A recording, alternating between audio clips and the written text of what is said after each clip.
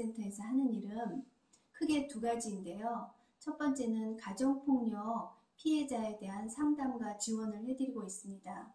가정폭력 피해라 하면 일반적으로 부부간의 폭력을 많이 생각하고 계실 텐데요. 물론 부부간의 폭력도 가정폭력에 해당되긴 합니다만 가정 내에서 일어나는 모든 신체적, 정신적, 심리적, 그 다음에 물리적, 경제적 학대도 가정폭력에 해당이 됩니다.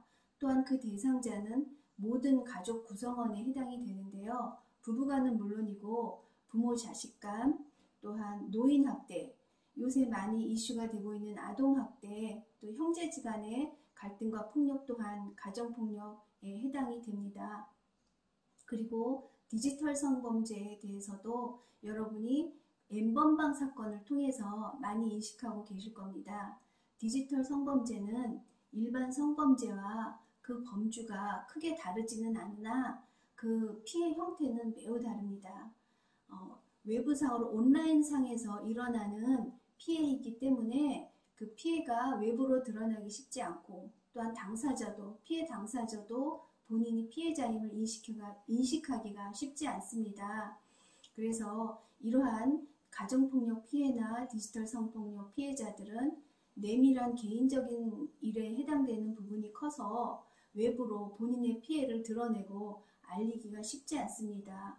혹여라도 지금 이 시간에도 가정폭력 피해나 디지털 성범죄로 피해를 받고 고통 가운데 계신 분들은 저희 파주 통합 상담 지원 센터를 찾아주시면 저희가 언제든지 여러분을 손을 잡아드릴 것이며 여러분이 고통받는 고통을 함께 나누고 여러분이 밝은 세상에 나와서 일상을 회복하고 미소 지으며 살아갈 수 있기를 응원하고 지지하고 또한 격려합니다. 감사합니다.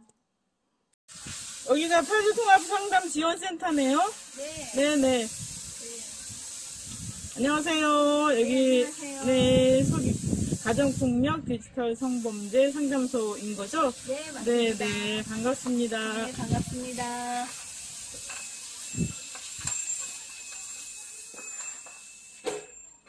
어, 여기가 잠깐만요. 여기 뒤돌아보면 바로 보건소예요. 보건소 바로 앞에 있어서 네, 찾기는 되게 좋은 것 같습니다. 네. 여기는 아, 이곳이 저희가 사무를 보는 예, 사무 공간입니다. 네, 이곳에 오시면 1차로 이제 기초 상담을 하시고 네네. 초기 면접을 하는 그런 공간입니다. 아 네. 어 저기 문이 있네요. 예, 저 네네. 안쪽으로 들어가시면 네. 가정폭력 피해를 당하신 분들이 임시로 네. 거주하실 수 있는 임시 쉼터가 마련되어 아 있습니다. 이렇게 넓은 데가 안쪽에 있었네요. 네. 네.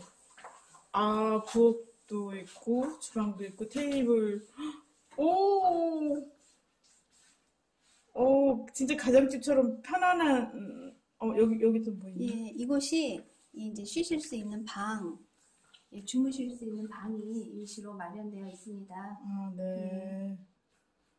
아, 그럼 상담해서, 여기, 음, 뭐야, 갈데 없는 분들 잠깐이라도 임시로, 예, 쉴수 있도록. 잠시라도 쉬실 수, 어, 야될 분들은 이곳에서 쉬시면 됩니다. 네네.